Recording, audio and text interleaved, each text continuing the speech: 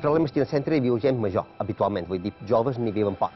Clar, que passa, són cases que quan la gent major eh, mor, pues, són cases que se tanquen, o bé queden tancades, com n'hi ha moltes que fa 10-15 anys que estan tancades, o, o simplement tot d'una el posen a la venda. I això ha fet que l'ànima dels pobles se perdi, que aquesta vida que veus, eh, que aquest maneig d'anar i venir de gent que veus a dins dels pobles, aquí no el tinguis.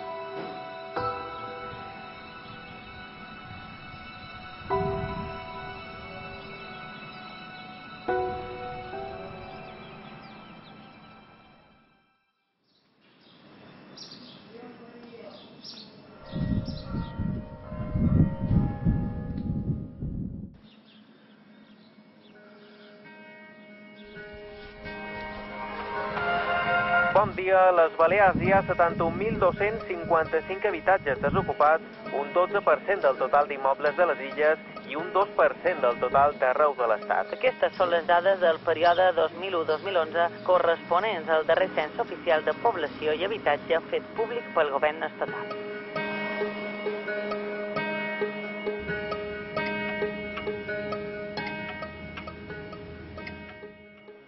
Cases buides.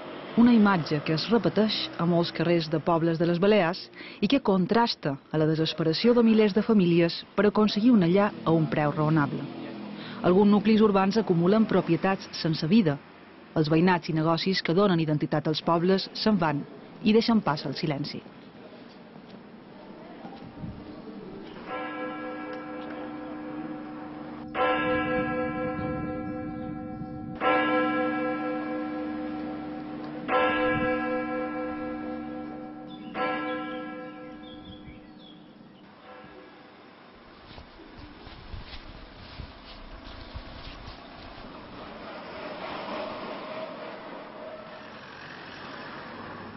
Gori Vicenç viu en pena la situació actual del centre de Falanich.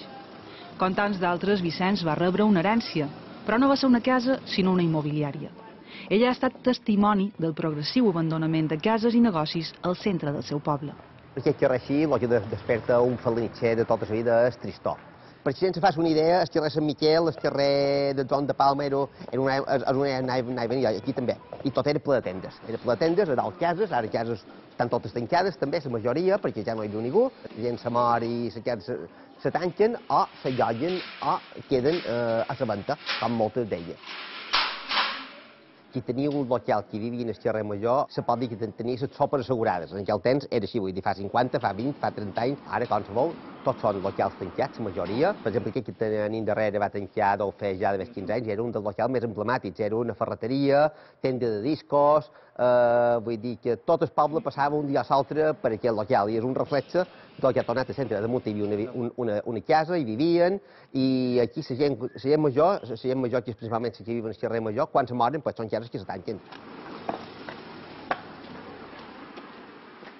El que va passar va ser que fa un 10-12 anys, quan el boom, quan la bimbolla immobiliària està eh, en el seu àlgid, clar, si jo vinc per 10, eh, el meu veïnat vol vendre per 15, vull dir, no vol ser com jo, vull dir, vol sempre vol un poquet més. I això va, va fer que preu augmentar fins al punt que la gent va arribar un moment que va optar per anar-se'n pues, a Santanyí, a Campos, a Porreres, que ara se el fruit 10 anys després de eh, com està Santanyí, com està Campos, com està Porreres i com està Falaní. Mira, som en el centre del carrer Major, a mà manca de la meitat, i això era un dels punts, diguem, un dels bessons bons, vull dir, comercial, vull dir, tot eren negocis un vora l'altre. I fins i tot moltes d'aquestes cases, que ja són cases, fa 30 anys eren, eren locals comercials. I ara, mira, n'hi ha un aquí de tancat, un altre aquí, aquí n'hi ha un altre, i aquí n'hi ha dos més. Vull dir que se nota eh, com en darrers 15-20 anys hi ha hagut aquesta decadència en aquesta zona.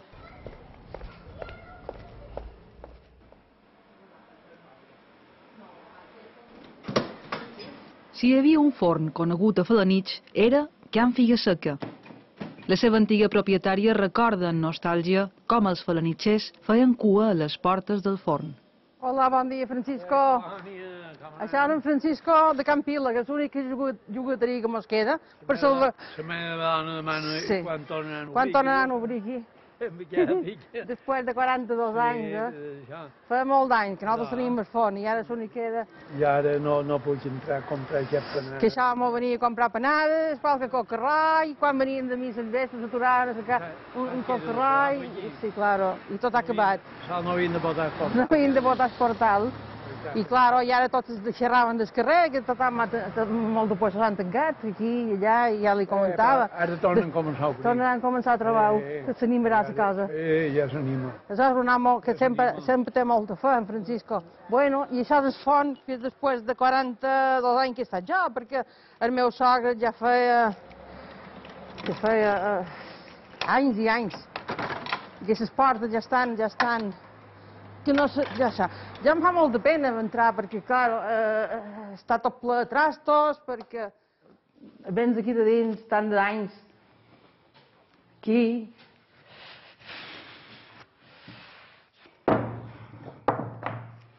que feien les panades, que feien la pasta, i encara hi havia això del padrí, aquí hi havia per, per prestar, que encara està tot brut, i tot està deteriorat. Ara cap mes va, tot s'ha fet... u- Està tot deteriorat, tot se, tot se passa, no s'ha fet pus, no entra pus, perquè aquí fa una sensació de fred, en lo calent que era sempre aquí, i ara fa sensació de fredor. Aquí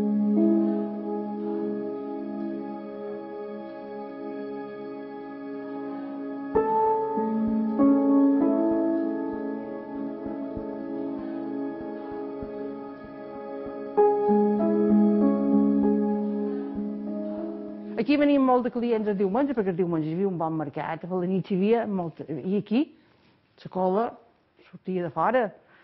Tenien client de Caladó, que són anys.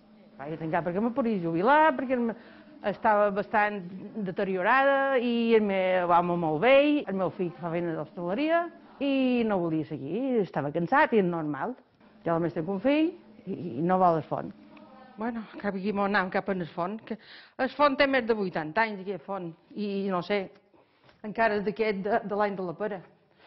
Un font que du a feina a baixar, encara llum que marxa, mirarem de, de poder obrir, perquè pe, està molt fort.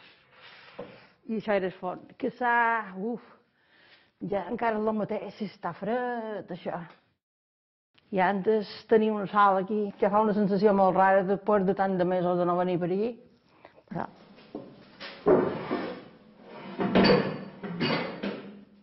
Tot d'una no, tot d'una diferent, però ara, quan ha passat el temps, enyores un poc.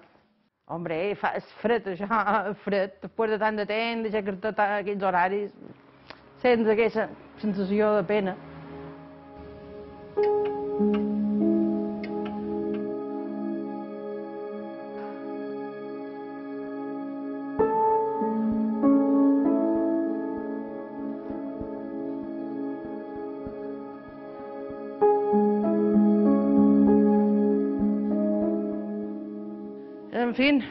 el que hi ha. Qualque dia ho farem net, farem un pot de reforma i veurem què feim. Fa la nit un pot deteriorat i... i ningú vol fer la nit, tampoc. L'any que ve s'assusta. Venen i, i, dius, oh, fa la nit, al centre, que ha tornat de vell. Fa pena.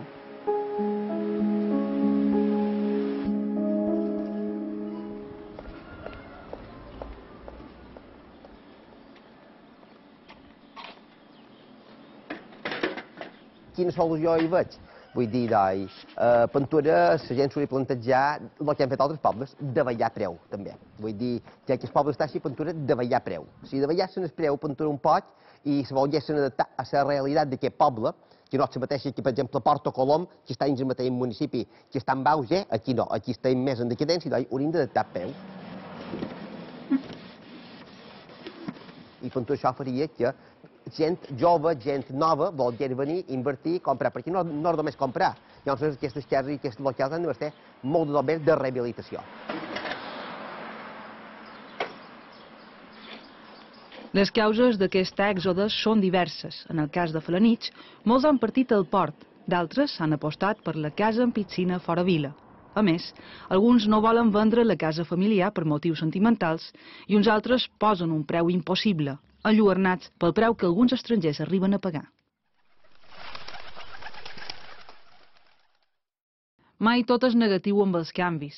A tots els nivells s'espera amb molta il·lusió la dinamització que provocarà la reforma de l'antic celler del sindicat, que passarà a ser un centre d'art internacional, el de figura de Miquel Barceló com a eix central. Bon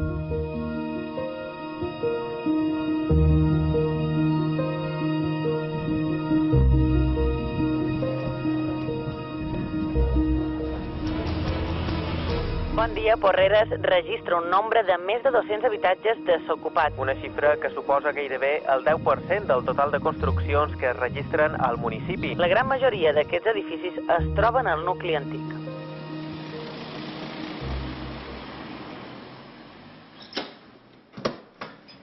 Maria Amalià fa més de tres dècades que té un negoci al carrer de l'Almoina, que un temps era un dels carrers amb més vida del poble. Avui en dia és una via gairebé deserta. Hola, bon dia. Què tal? Bé, ha anat bé. Ha vengut gent a to? Sí, ha vengut gent. I doncs, beníssim. No és Sí. com els reis, però vingut. Ja, ja, jo ara me n'anava a comprar i he dit ara m'aturaré a veure la man que fa. I llavors col·locava un poc. eh, Col·loques per allà, sí. Jo al principi que tenien la tenda, aquest carrer sempre seguit, sempre seguit, estava passant gent per amunt i per avall i tot això, i ara eh, és un carrer eh, un poc mort. A mesura que ha passat el temps, s'ha- s'han anat llevant moltes de tendes, i que, que Porreres pareix que perd vida perquè no hi ha el moviment, el moviment que hi havia, que hi havia antes, i, i res, eh, torna, torna el carrer, torna pobre. Què tal la padrina avui de matí? Bé, sí, ara, sí, ara n'he passat i està bé, ara seu a la camilla, mira la tele i, i com sempre està. Saps que volies fer? Te podies dur aquestes sabates a la Margalida, que els hi vaig parar en la forma. I ara les dones els deixaré, ara me'n vaig acabar de fer dinar. En general, en aquest carrer crec que hi ha moltes de cases buides perquè els que, les han rebudes com a herència pues no, tenen, no tenen possibles per reformar-lo i, i les tenen banal per això. Jo aquest carrer l'he vist que, tot, que per tot estava ple de gent, totes les cases estaven plenes i ara n'hi ha moltíssimes, moltíssimes de buides. Cada cantó de Suquina n'hi ha una que fa 10 anys, o lo millor més que se ven, i a veïnat d'aquí també n'hi ha un altre, no fa tant d'anys, però també és banal i, no, i tampoc no la ven, no, no se compra. Mira, que és 44. Look, ah, és marrón també, si t'estimes més el color marrón. Se sent tristor perquè aquí és, és, és el centre del poble i, i a lo millor hi ha més gent per la part forana de per allà baix, que han fet pisos nous, i ha vengut gent, gent de fora a viure per aquí, però el que és el centre ha quedat a Suixines, ha quedat un poc mort.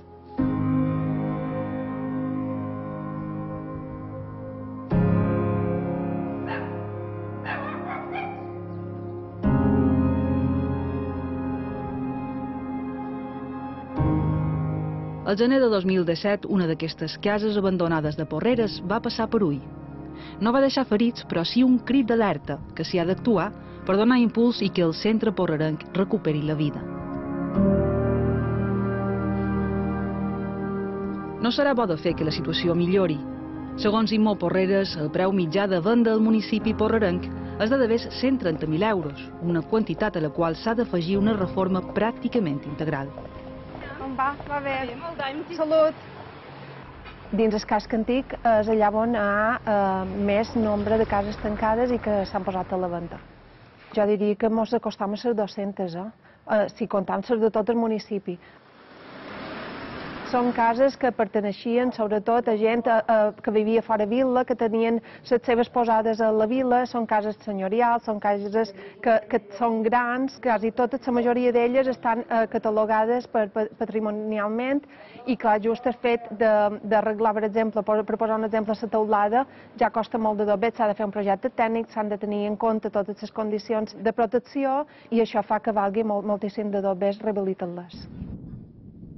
És trist no, perquè la gent li és molt més fàcil anar a la banda de la ronda de, circunvalació, que ha finques de pisos noves, que i compres un piset que pot valer 80.000 euros, que va de rehabilitar una vivenda, i si l'ha de rehabilitar damunt encara, de comprar-la, pues ja estem xerrant d'una doberada.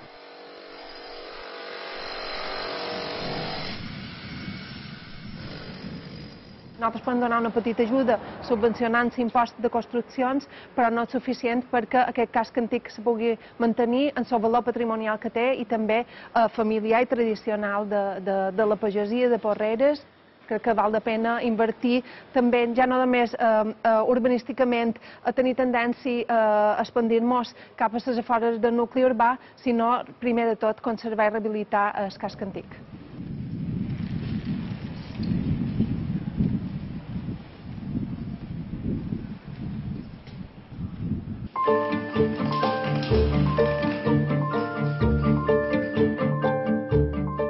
El govern fa mesos que assegura tenir a punt la nova llei d'habitatge, que, entre d'altres qüestions, planteja incentius i ajudes als propietaris perquè lloguin el seu habitatge en comptes de tenir-lo buit.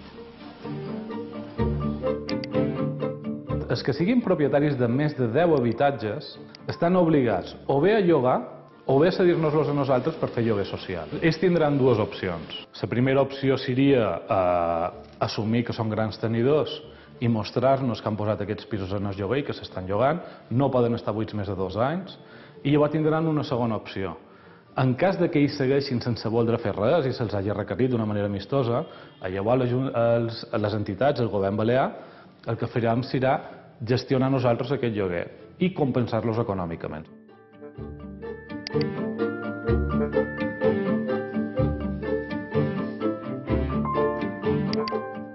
Cap moment no és agafar una persona i obligar-li a posar lloguer. No, no, estem parlant de que o llogues tu o nosaltres te fem que lloguis i obtindràs un rendiment, però els pisos no poden quedar buits per especular. I amb la nova llei de l'habitatge el que permetrà saber quant d'habitatges hi ha buits, sobretot i d'aquests habitatges entrin dins el mercat. La nova llei inclou la construcció de més de 500 habitatges destinats a lloguer social i també facilitarà sol públic per construir-hi cooperatives d'habitatges, és a dir, més construcció. Una llei polèmica que topa la lliure gestió de la propietat privada. Nosaltres estem en un mercat lliure on tothom té dret a fer el que vulgui en el seu pis, fins que arriba un moment en què la gent no té on viure. I llavors el que hem de fer és fer una intervenció, en aquest cas limitada, perquè tothom tingui accés a habitatge.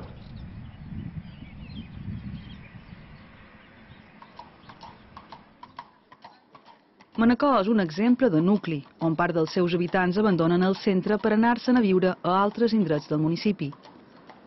O bé a Porto Cristo, a Fora Vila o a alguna de les urbanitzacions creades als redals de Manacor.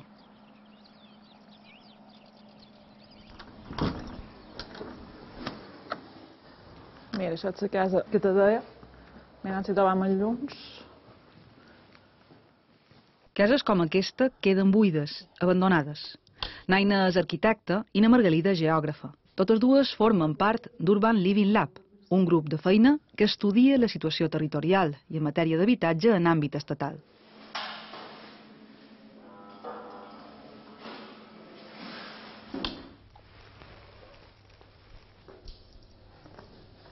Aquesta és una de les cases que t'havia comentat de Manacor que està en desús, totalment en desús, que no saben quin ús li han de donar.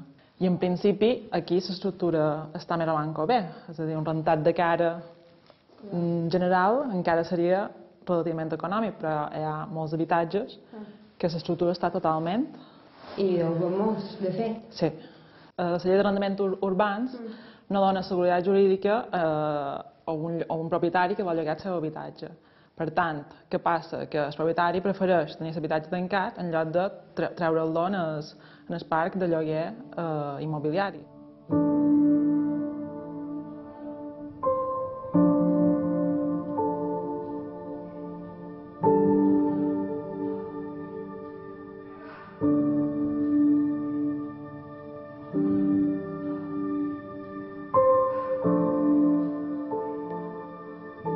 Aquesta casa ja veuràs que és de planta baixa i planta primera. I aquí, en principi, és per una sola família, però molta gent està preparant o se va preparant el seu moment de fer la planta baixa per els pares i, deixar el pis per... Sí, sí. De, um, deixar el pis per fills. Clar, què fa això? Que els fills no han volgut uh, viure a la planta primera damunt casa dels pares, han cercat solars o fora viles per poder fer la que seva en el seu gust i ara una vegada s'han mort els pares, pues, les cases queden com aquesta, que està totalment en desús. Normalment són cases amb, amb vigues de fusta amb estructures bastant antigues, que és, és un cost elevat per la rehabilitar.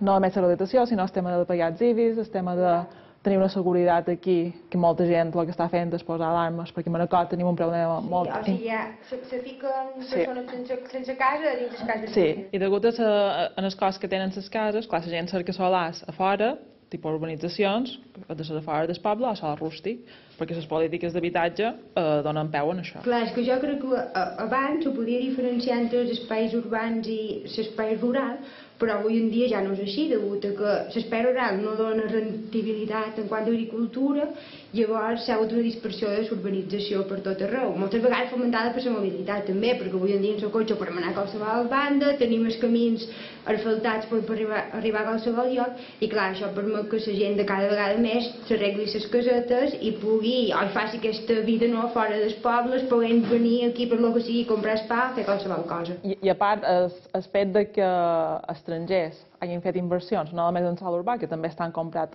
els grans casals per realitzar-los i donar-los un també han potenciat que el sol rústic vagi cresquent, això eh, hem d'afegir que després que hi ha el tema del lloguer turístic que encara ha potenciat més la construcció en sol rústic, perquè per benefici que ha donat eh, el lloguer turístic, per fa que tot el sol rústic, si tu vas amb un avió i veus tota la Mallorca, realment està tota totalment urbanitzada.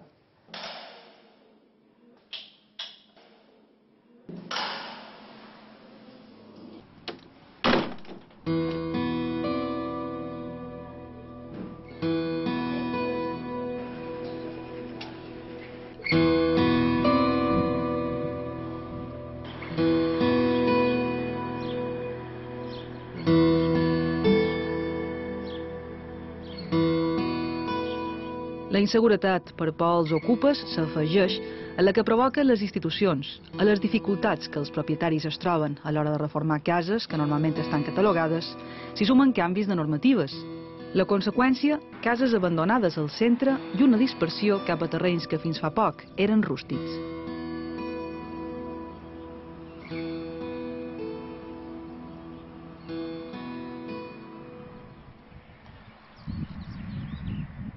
Situat a 550 metres d'altura, Beniarroi és el nucli poblacional més elevat de les Balears.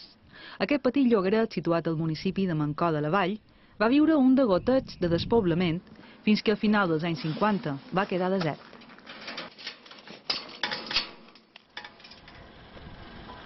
En Tomeu Sastre és un dels pocs propietaris que queden a Beniarroi. El difícil accés ha fet que aquest llogaret s'hagi convertit en un lloc fantasma. Com podeu veure aquí és que havia un poc complicat per arribar fins aquí dalt, però ara ja hem arribat a, a Viriama i això és l'entrada, diguéssim, de la banda de darrere, perquè antigament es que havia peu entra per l'altra banda.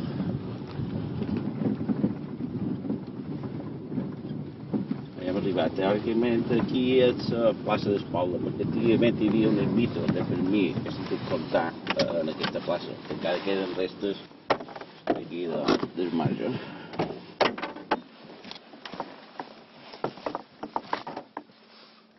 Els sogres de Tomeu Sastre varen ser dels que varen partir cap a Mancó. El pas dels anys ha deixat l'habitatge en estat ruïnós, una herència amb mala ferida. Això és bueno, el que queda de, de l'herència i de, de la part de la dona. Ha deu fer 65, 70 anys que no, por ahí, que no està habitada. Aquí no hi havia camí, havien de venir a peu i la feina aquí ja no, no se podria viure de la feina que fes aquí dalt. S'ha de fer nou o s'ha de deixar caure més, una de dues. Però per fer-ho nou, mm, se necessita molt de tot més. Sí, jo estic manat un camió i jo no puc eh, assumir un, un gasto d'aquests, perquè, que va, que va, i més en l'edat que tinc.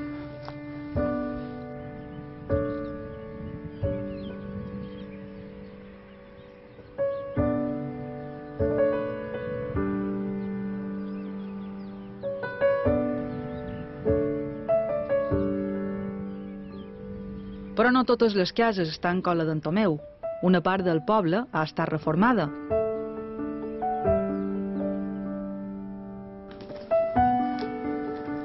És el cas de la família de Biela Lorda, que va heretar una casa històrica i que passat els anys la va vendre un nou propietari que la va reformar. En Biel passeja en nostàlgia pel llogaret de Beniarroi i té ben present el final d'aquella època.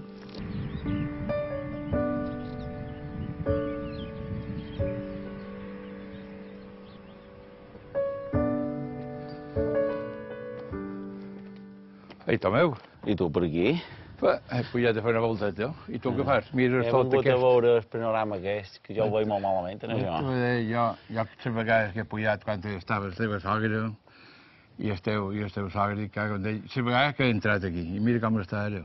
Això devia ser l'any 60, jo encara era un lot. Després se'n va endur l'aigua en el poble i, I, jo, i tot ja va quedar com mort. L'únic bo que hi ha aquí és, crec que és aquesta finestra.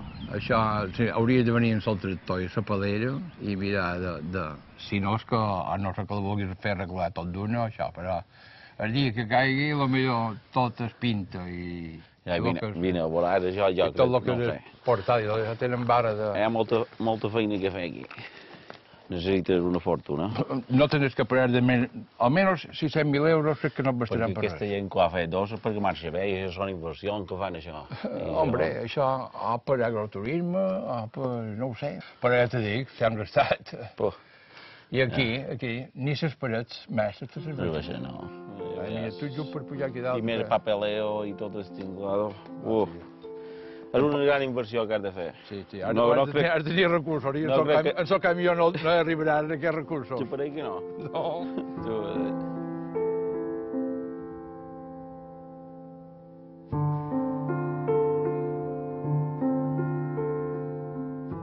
El sol rústic s'omple de noves cases, mentre els nuclis urbans d'alguns pobles van quedant buits de vida. I així, a poc a poc, els llogarets, els pobles i la ciutat de les Balears perden l'essència.